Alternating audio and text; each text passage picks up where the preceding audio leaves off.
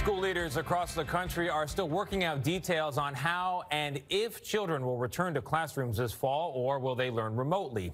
Wonder Years actress and best-selling author Danica McKellar has written 10 books that aim to make math and STEM learning fun and engaging for kids of all ages. And now McKellar is out with a new book, The Times Machine, uh, aims to help teach second to fifth graders multiplication and division. I, I, can't, I can't do it, I can't say it. Danica, you're going to have to help me with all of it. she joins us now from Los Angeles. My pleasure. Thank you for getting up early uh, with us. So uh, right now, uh, we would be in what, what's called the summer slide. People forget things from the school year. Now on top of the summer slide, we've got the COVID slide. How do those slides, those yeah. gaps in, in our learning affect math in particular? Oh my goodness. It's been such a tough year for kids, especially math. See, math is different from other subjects because it's cumulative. So if there's one thing that you miss or you forget, it affects a lot of other areas as well.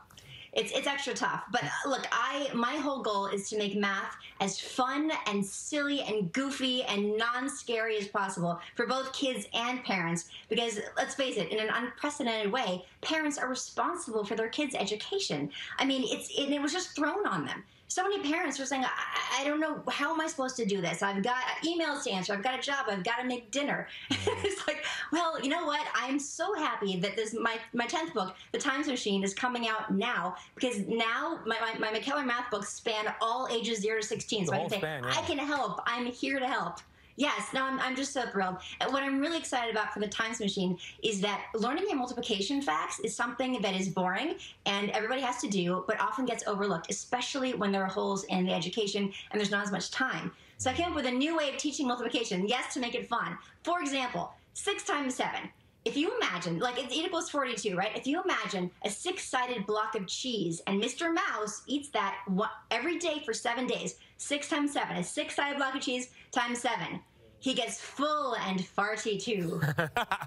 that is true, and you can see. I'm glad we have a. am glad we have a, a, screenshot there of the book uh, because there's a there's a little picture of you there in a comic book image. So there's like a paneled comic yes, book style to the whole yes. thing. How did you decide on that? Well, that's the whole point why not why not teach math in the most fun silly way possible with comics and cartoons and just time travel? Of course the times machine we have the time travel. I mean we see the we go to the dinosaurs you know we uh, we travel all over. And and one thing i just want to say about parents trying to teach their kids math is it looks different now. It looks different from how yeah. it did when we grew up. There's all these other methods there are all these new math vocabulary terms.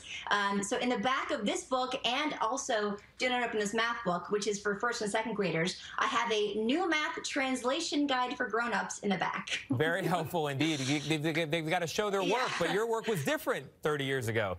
Uh, you know, you mentioned the, the learning exactly, from home. Exactly, exactly. Th this book uh, is, is kind of a replacement for school, and you know something about trying to teach yeah. kids from home because you've been homeschooling your son, Draco, uh, from the beginning. Anything you can share about how to get yeah. learning done in the home for all these parents trying it for the first time?